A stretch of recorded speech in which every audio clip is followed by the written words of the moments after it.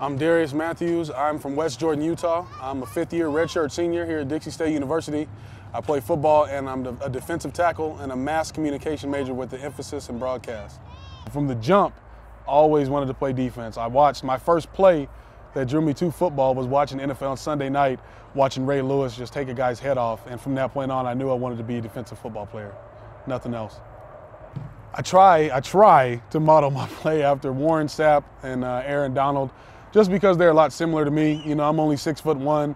Warren Sapp was about six foot. Aaron Donald's listed as six two, but he's like 5'10", 5'11", and they're both. Uh, Warren Sapp had great hips, and uh, Aaron Donald has all the above. And also uh, Reggie White, just because Reggie White was a very strong individual, and not talking myself up, but I'm pretty strong as well, and I try my best to implement what worked for them into what works for me. I love anything radio, anything talking sports. I uh, also like to draw outside of my free time. I am a bit of a sketch artist. And I like to swim. Can't go wrong with the water. I'm a bit of a fish as well.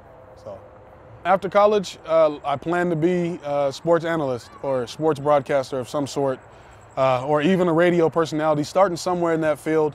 And also, I want to be a motivational speaker or a public speaker, period. I love uh, motivating and inspiring people and I love how some of my favorite motivational speakers inspire me. My favorite food is definitely catfish. Some fried catfish, collard greens, and macaroni, and you got me sold. I'm good to go for the rest of my life. favorite spot in St. George is probably Menchie's. Menchie's frozen yogurt.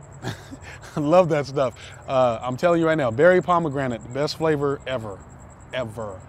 And the little bobos, I love those. I can hang out there all day. I'm Darius Matthews. Thank you for tuning in. Thank you guys for interviewing me. I hope you guys come out to the se- come out and watch a few games this season.